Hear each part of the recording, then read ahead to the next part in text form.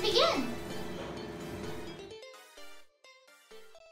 There are 14 major internal organs in the body, and they are the brain, heart, lungs, stomach, large intestine, small intestine, gallbladder, liver, bones, muscles, kidneys, urinary bladder, pancreas, and the spleen.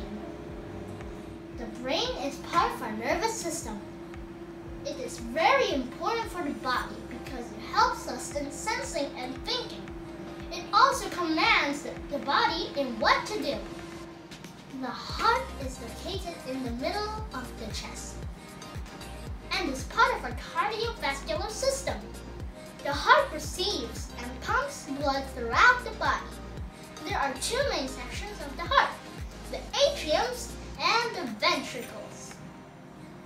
Let us talk about the lungs. The lungs are part of the respiratory system. In my opinion, the lungs are the most important major internal organ because it filters the air that we breathe in and gets the oxygen from it when we inhale and removes the carbon dioxide when we breathe out or exhale.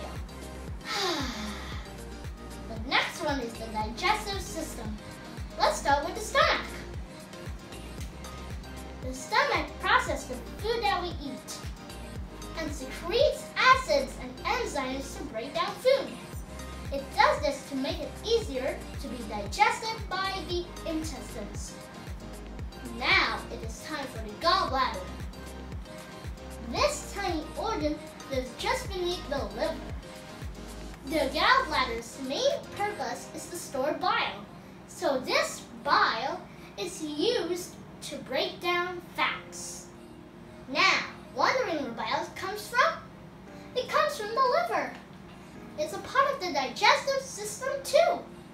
The liver also filters the blood and it stores energy in the form of sugar called glycogen. Moving forward, we have the intestines, starting with the small intestine. It is the longest of all the internal organs.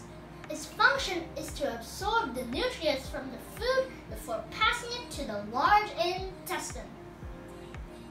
The large intestine then takes the responsibility to absorb water from the indigestible residue of food and excrete the waste products afterwards.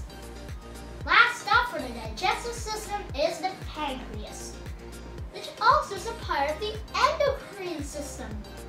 It has two functions, which are the exocrine and the endocrine function.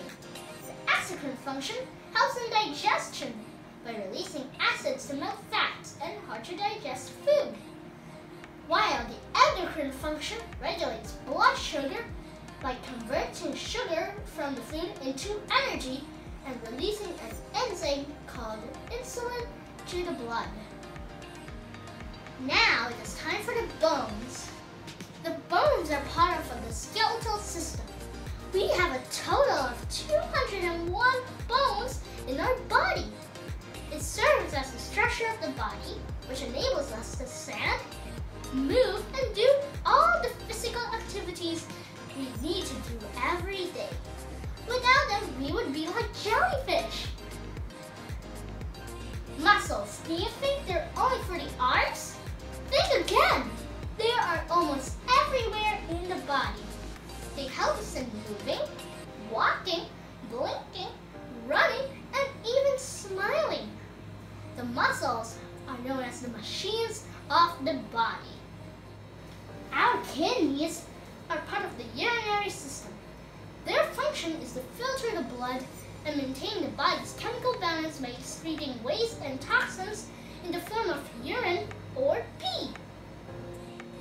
Thinking more about pee? Well then, let's see our urinary bladder.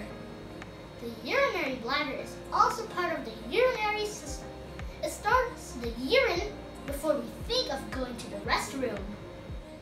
Last but definitely not the least is the spleen, which is a part of the lymphatic system. The spleen filters the blood that the heart pumps and removes bad toxins from our blood and is also in charge to fight